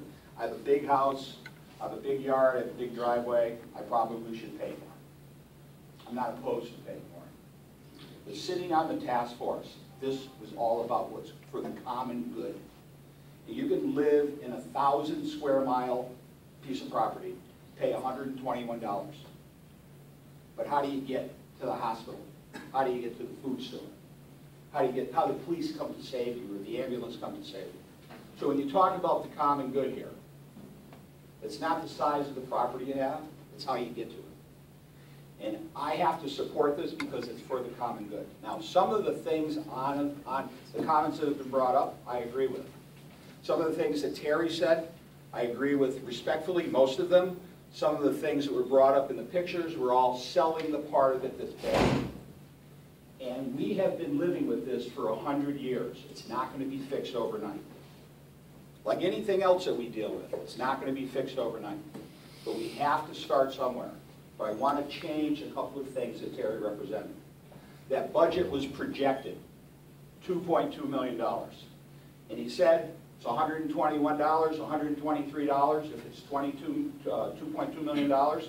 If it drops to one point one million dollars, it's sixty dollars, but it's projected. If it goes to four point four million dollars, it's two hundred and sixty dollars, or two hundred and forty dollars. Don't lose sight of that. The, the city council has to deal with this, but we have forty-eight hundred and thirty-five storm drains. We need forty-eight hundred and thirty-five residents in here telling our elected officials what they need to hear. This is great to see this many people. We had six or seven people at this, at those task force meetings. George, you were at every one. Thank you. But we need forty-eight hundred and thirty-five people. We have sixty-six hundred properties. Those property owners need to be here to tell our elected officials what they want. It can't be from the BPW, it can't be from the, the task force, it has to be from us. And that's important, to bring those people. We have one meeting after an election. One meeting before it goes to the city council. That is terrible. Terrible. We talk about education. We offered at the task force that they should send out a brochure to everybody who pays. We offered that. It hasn't been done. And I offer today, if it's because we don't have it in the budget, I'll give you the money. I'll pay the stamps, and I bet you everybody in this room will help us mail those out. So every person who gets a bill knows what's going on.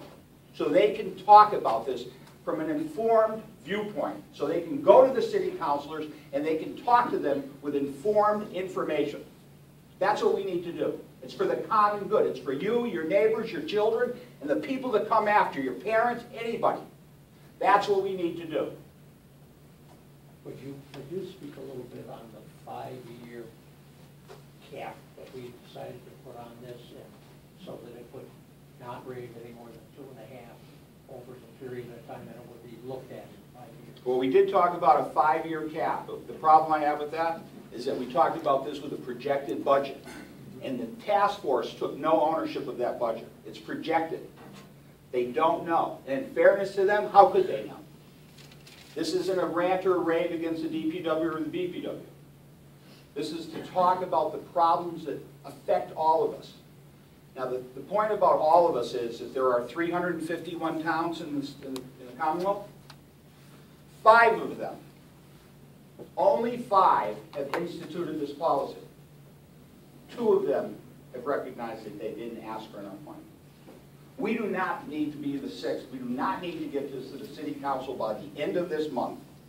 We need to vet this process. We need to educate the public. We need to educate our neighbors and our friends and anybody else because it affects every single one of us. It's about the common good. I have a question for you. You mentioned, it's a question for you, but you mentioned that we're the second oldest water system in the state. Second oldest flood Okay. control works. We're, but we're the largest. One of the largest ones. Why aren't we requiring the federal government to come in and help us take care of the cost problem? Why haven't we gone to the There are federal many government and que- asked that There are question? many questions like that. No, I mean, I'm, but No, I'm there, asking there are you. many questions, and that's a good Did question. the task force But I ask? don't- I don't have No, that no, did, answer. did you ask the DPW? I understand. I don't have that answer. The Okay. issue that I want to bring, when you bring that point up, it's a good one, is we need to educate our neighbors and our friends and everybody around us, so those questions get asked. I don't know the answer. We're making a little forty-five thousand people community suffer the brunt of this. That's a, that's, that, When that, billions of it's for dollars the are blown away common the good. It's for the common good. You I need understand this. that. I live in, a- I'm in I live in a business too. sand, I I'm live in in a business too. sandbank. I don't, ha- I, every water, every drop that goes, I live in a sandbank. But in order to get to my sandbank, in order to get here tonight, I gotta drive on these roads. Yep. It affects all of us. Pretty soon, I'm not gonna have a driveway. We Just turn around and need, look. we need to get people here, we need to have more meetings, this thing needs to be put off so we can have these meetings, and when this brochure that we're willing to put out, it should have the meetings in there so that city councilors don't have to break, break this down into small groups. There are a lot of things we can do. But we don't wanna wonder either afterwards. We don't wanna wonder like it's part of That's what we're talking- the that's what budget we're and where talking the about. money's going and who's. That's what we're talking about. That's right. That's We what we're wanna know talking about. exactly every So, penny. I, I've said enough. I So do when is agree this with, happening? When is the vote happening? Because you're right, we need more. I don't know, I do agree with Chris, I do agree with Emery, and you know what, I agree with the BPW. We have to do something. This is not gonna go away. New Orleans can happen here. And when you can't drive downtown, and you think you live on an island, you will find out that you don't. We have to do something. The way we do it with is, with informed public education. That's right. And that's what you should be demanding from the BPW, the DPW, and any city councilor, and any elected official that you see. Thank you. But we also want the truth to come out about the whole thing. And that's a problem like with the override. So if you want to talk, get in line, Well, we wait have for the mic. Uh, Let me just add a little bit about uh, the federal government. And, well, I, I won't talk You talk mean about. us? You mean But- us? But, but basically what happened is I, I looked at the, at the dike and the pumping station and some of the stormwater system. And I, I talked to the people down at the pumping station over the last five or six years as a member of the Ward Three Neighborhood Association. I went down, and I think it was George Graham, was a director years ago. I speak to him, I sit in, sit and talk to him about what's going on. And basically, the, the dike and the pumping station are in poor repair. And in talking to George and some of the people there, my understanding was that the U.S. Army Corps of Engineers inspected the whole system once a year, and then when I talked to him again, it was every other year, and then it was supposed to be every five years. Nevertheless, how many ever, how many times they ever inspected it, uh, when you see the results, nothing happened. So they should have been sending out an alarm, saying, hey, look, things are getting worse, they're getting worse. Apparently, no alarm was set off. So part of the responsibility, I think, belongs with the U.S. Army Corps of Engineers and the federal government. So what I did is I went down to the governor's office, it's on Pleasant Street right now, and I talked to the uh, representative there, and I asked him about it, and the basic answer is they don't have any money. Yeah, right. But we do. The city does. But, but I think the federal government does have a responsibility in repairing the system.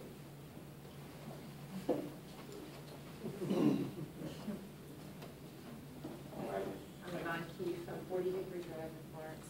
Um, I'd like to speak to what the gentleman said about getting people involved, about coming to these meetings. I first found out about the stormwater meetings at the override vote because Marianne came on and mentioned something about it, and I said, what are you talking about? it. I hadn't heard anything about that, and they've been meeting since Could April. you speak up a little? Sure. So they have been meeting since April, and I didn't know that. So then, um, the only way I heard about this meeting is someone forwarded an email to me. And I said, well, I didn't see anything in the paper. Yeah, well, Well, I looked in the paper, and it was a DPW meeting, seven PM, Ryan Road, but it doesn't say what it's about. So I think if we do a better job of giving people more lead time on when you have these meetings and what it's about, I think more people would come, because I totally rearranged my schedule and put off a conference a day later to come to this, so, and I would like to get, be more involved in it, so, thank you. Emery Ford, I live in Florence. I'd like to go back to something that, that David T. said, and it's this. I think that we ought to postpone and, and go at this with what I will choose to call all deliberate haste. I think we need to do it, but let's take the time to, to vet it, so everybody hears about it.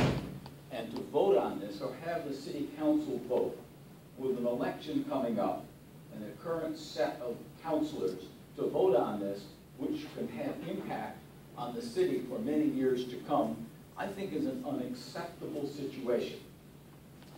I'm not exactly sure how we would go about postponing this, but I personally don't see any reason we have to go so quickly that we don't have time for meetings in every single ward to discuss this and find out what people are thinking. I don't know what the outcome will be, but I would hate to see this pass without a thorough vetting. And the number of people here is very small compared to the total number of people in the city.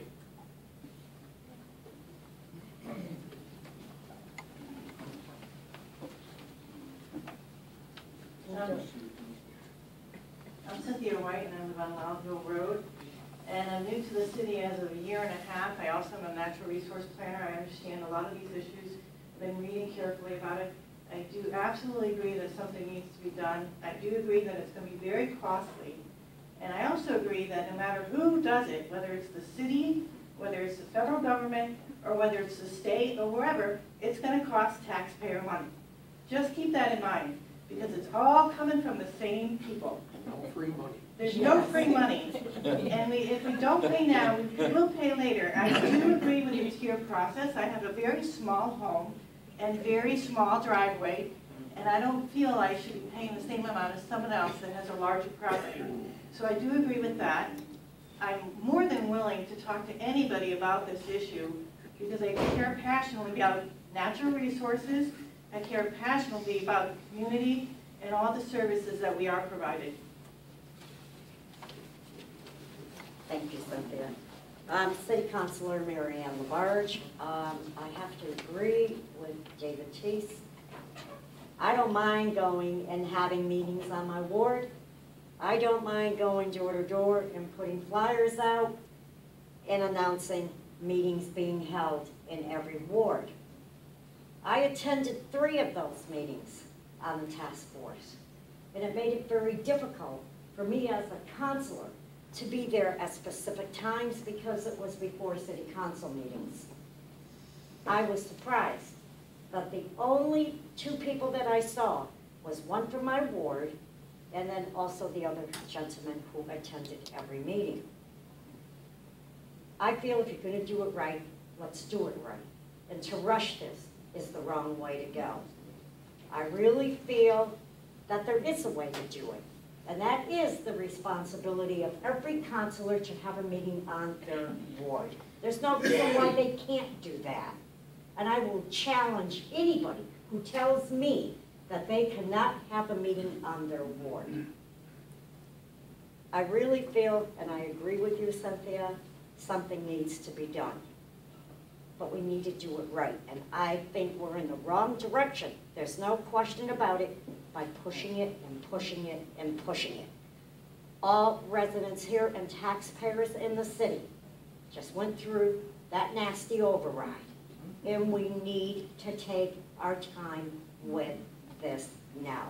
To cancel it, I think we should.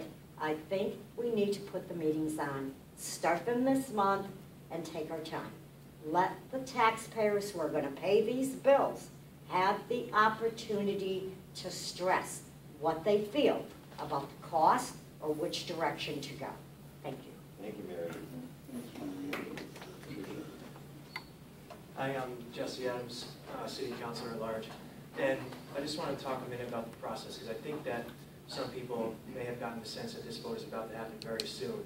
And the typical process is that um, a measure comes to the city council from various different uh, boards, committees, or other, certain people can, certain groups and individuals can sponsor legislation. So in the typical process, um, the, the council gets a measure and they refer it out to committees and committees um, deliberate and, and it comes back to the, to the full council. But this, this, of course, is a decision of tremendous magnitude. It's of huge magnitude. And so I agree with that there is not even close to enough process, but I don't want people to feel like it's, it is going to get rushed and we're going from, from this meeting to a vote. It's not only going to go through those typical council processes, which I just described, but there's going to be a whole lot more. I, I, um, I will advocate for individual ward meetings. I think Emery Ford's and others' ideas is, is, is, is, is the way to go. Just like when we have overrides or other tremendous issues. I also think that, um, what Mr. T suggested, I've always been in favor of having the individual brochures or notices go to, to homeowners' households. But, um, but I don't want people to think that, that this is something that's gonna happen extremely quickly. Um, and I do certainly believe that there's room for a lot of process, and I would like to individually hear from everybody. So you can get a hold of your counselors, um, our, our contact is on the website, um, but, um, you can, you can call us, you can email us, but, um, I wanna hear from everybody, and I'm certain that other counselors do as well, and this is, we're not gonna vote on this right away. There is gonna be a long, more involved process, so thank you. So I think we've come to the end of the allotted uh, meeting. I want to thank everyone, genuinely thank everyone for coming. Thank you. Thank you.